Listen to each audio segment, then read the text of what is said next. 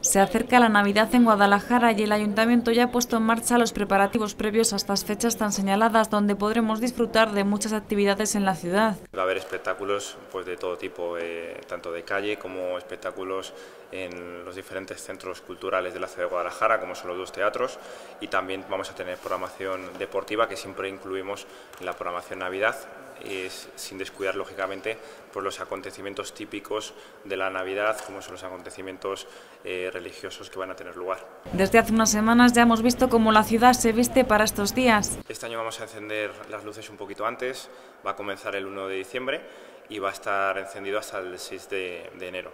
Eh, va a estar distribuida en toda la ciudad, principalmente en lo que es el casco histórico de Guadalajara, como es habitual, y los ciudadanos van a poder eh, contemplar pues, una decoración típica navideña, con diferentes arcos, con guirnaldas, va a haber 80 motivos navideños, en definitiva, pues bueno, diferentes sorpresas de las que van a poder disfrutar los ciudadanos en los próximos días. Carmen Golenconga ha señalado que Guadalajara ha destinado un presupuesto similar al del año pasado en luces navideñas. Van a ser aproximadamente 30.000 euros lo que se va a destinar